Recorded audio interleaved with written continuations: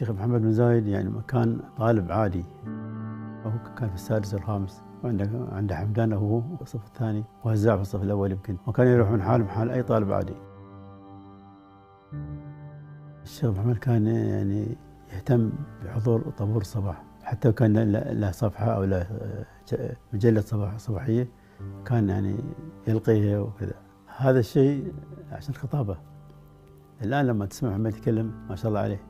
كلام موضوعي متسلسل ففي ذاك الوقت هو كان إحنا نعطيه دقيقة واحدة بس حق حق الطابور يلغي كلمة حكمة شيء. وعندي تسجيل بعد له. اخوان الطلاب صباح الخير. نقدم إليكم العدد الثالث من المجلة الصباحية وإليكم الآن حكمة العدد. يقدمها الطالب محمد زايد.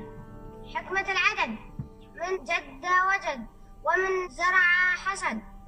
ومن سار على الدرب وصل على الإنسان أن يجد في عمله.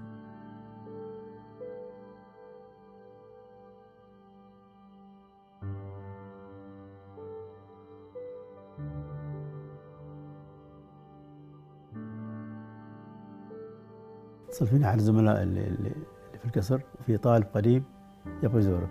قلت له يا الله قال الشيخ محمد بكره زيارة عائلية أصبحت ويا بعياله والله إحنا فرحنا الليل قعدنا سولفنا. يوم التاريخ الماضي.